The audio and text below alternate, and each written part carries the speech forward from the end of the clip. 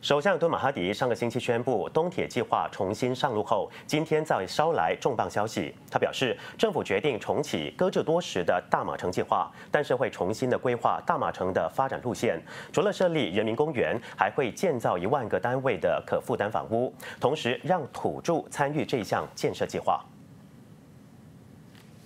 大马城原本是一马发展公司旗下计划，由马中联营财团，也就是一海控股以及中国铁路工程集团竞标取得。原定在二零一八年开始动工，没想到国政时期的财政部突然在二零一七年宣布脱售六成股权，交易告吹，计划停摆至今。首相敦马今天在首都召开记者会，宣布重新启动大马城计划，再次由马中联营财团推动项目。敦马强调，大马城计划对我国经济影响深远，有助吸引更多金融和科技企业进驻我国，预计可以为国家带来大约一千四百亿令吉的总发展值。值得一提的是，大马城将以全新面貌再次出发上路。The plan of the project has been changed.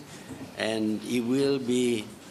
include the construction of a people's park, park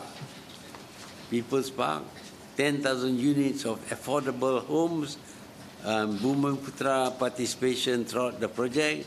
and priority for the use of local content in the construction process.